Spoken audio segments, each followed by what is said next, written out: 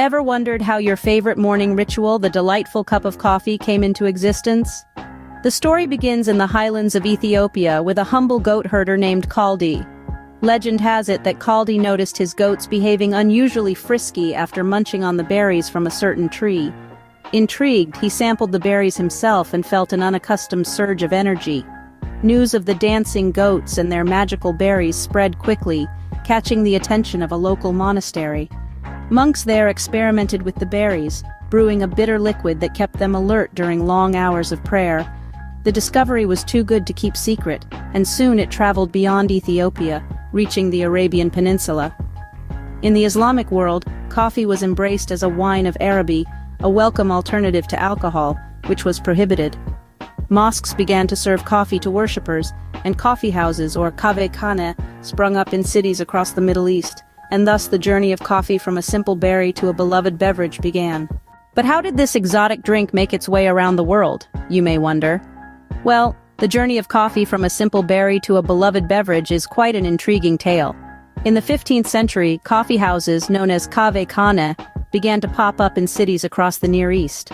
These establishments were much more than just places to enjoy a hot cup of coffee. They were social hubs, places to engage in conversation, listen to music, watch performers, play chess, and keep up to date with the latest news. Coffee became the drink of choice for these gatherings, and its popularity began to spread like wildfire. By the 17th century, coffee had made its way to Europe, it was here that coffee began to replace the common morning drinks of the time, beer and wine. Yes, you heard that right. Imagine starting your day with a pint or a glass of wine. However, coffee offered a much-needed alternative. It was a drink that woke people up instead of slowing them down. But like all great things, coffee was met with its fair share of controversy. It was new, it was foreign, and it had a bitter taste that was unlike anything the Europeans were used to. Some even went so far as to call it the bitter invention of Satan. The fear and mistrust were so great that coffee had to be tasted by the Pope himself before it could be accepted by the people. Despite the initial resistance, coffee had come to stay. It had survived the test of time and the scrutiny of the masses.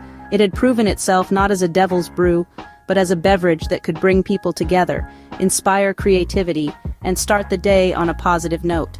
And so, coffee began its reign as the drink of choice for millions around the world. From the bustling coffee houses of the Near East to the elegant cafes of Europe, coffee had made its mark. Its journey, however, was just beginning. Despite the initial resistance, coffee had come to stay. And stay it did, in our hearts, our homes, and our history. Coffee, though, was not content with conquering just one continent. It had its sights set on the New World, and oh, what a journey it was. In the mid-17th century, coffee first made its way to New Amsterdam, a place you and I know better as New York. The city, bustling with energy, was an ideal setting for this invigorating brew, yet it was not an immediate hit. The settlers were still clinging to their traditional beverages.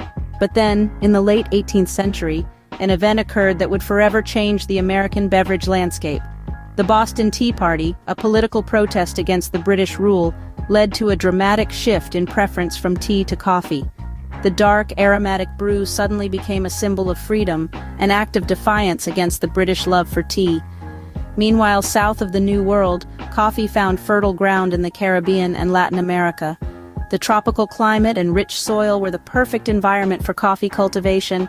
The crop thrived and soon coffee plantations spread across the region like wildfire. Jamaica's Blue Mountain, Brazil's vast coffee estates and Colombia's high-altitude farms became synonymous with high-quality coffee. This was a time of immense change. Coffee was no longer just a beverage, it was a booming industry, a cash crop, and a crucial part of the economy. Plantations were bustling, ports were busy, and coffee houses were the center of social and political discourse. The New World had embraced coffee with open arms, and coffee in return had transformed the New World. It had weathered political storms, adapted to new climates, and found its way into the hearts and homes of millions. In the face of adversity, coffee stood victorious. Coffee isn't just a drink, it's a culture, with countless variations worldwide. Each cup tells a story, each sip a testament to the diversity of flavors, brewing methods, and traditions that make up the world of coffee. Let's start with the types. There's the robust and full-flavored espresso, the rich and creamy cappuccino, the smooth and balanced Americano, and many others. Each type has its own unique taste profile and preparation method. But the best coffee in the world? That's a matter of personal preference. Some swear by the rare, earthy Kopi Luwak from Indonesia. Others favor the sweet, fruity geisha from Panama. And who's sipping all this coffee? Well, Finland tops the list as the country with the highest coffee consumption per capita. They've embraced coffee as part of their daily life, savoring it in the morning, during work breaks, and in social gatherings. On the other end of the spectrum, you'll find countries like Nepal, where tea is the preferred beverage and coffee consumption is relatively low. But what about the advantages and disadvantages of coffee consumption? On the bright side, coffee is packed with antioxidants, can boost your physical performance, and may even protect against certain diseases. It's also a beloved companion for many, providing comfort, focus, and sometimes, the motivation to get out of bed in the morning. However, like all good things, it's best enjoyed in moderation. Excessive coffee drinking can lead to insomnia, an upset stomach, or an increased heart rate, and let's not forget the dreaded caffeine withdrawal headache.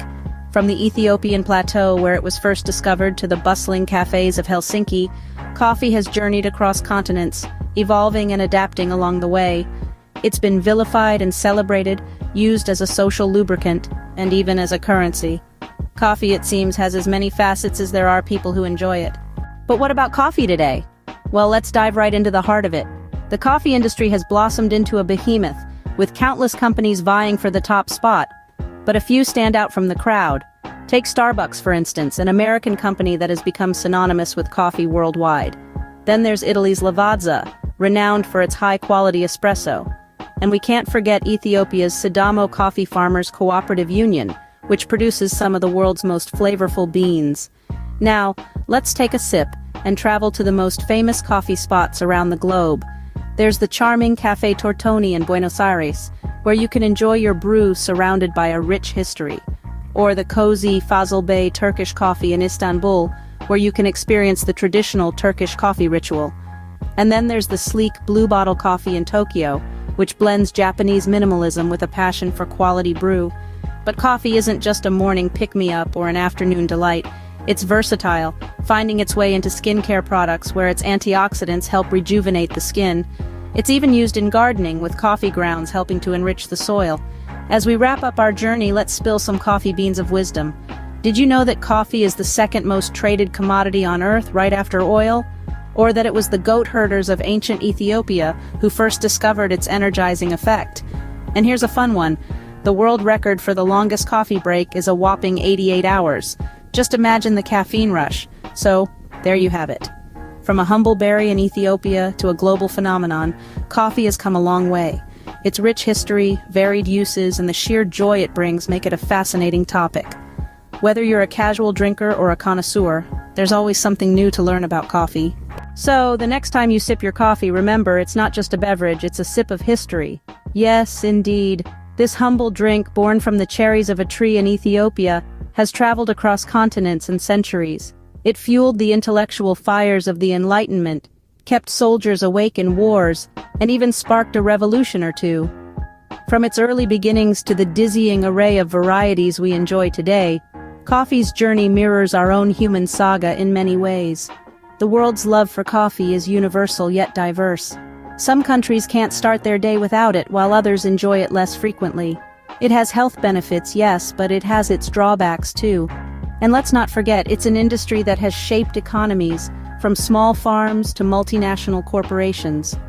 Here's to the humble coffee bean that has not just kept the world awake, but also shaped its history in countless ways.